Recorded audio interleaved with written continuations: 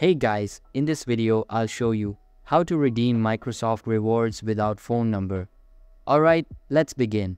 The first step is to log in using your credentials. If it's your first time, you can click on create one and follow the on-screen instructions to set up your account. Redeeming Microsoft rewards offers several benefits. 1.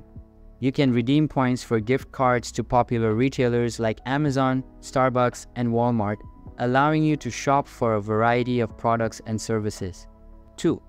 Points can also be used for Microsoft Store credit, which lets you purchase games, software, devices, and accessories directly from Microsoft. 3. Another option is to convert your points into donations to charitable organizations that support causes you care about. However, redeeming Microsoft rewards without a phone number can be tricky. Microsoft often requires phone verification for account security. Here are some alternatives you can try. Sometimes Microsoft allows email verification as an alternative method. Check your account settings to see if this option is available. If email verification isn't an option, you can try linking your rewards account to an email or social media account for verification purposes. If these methods don't work, you can contact Microsoft support for assistance.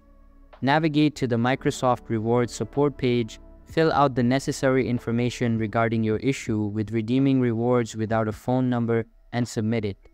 Be sure to use the email address associated with your Microsoft account. After submitting your request, you'll need to wait for a response from Microsoft.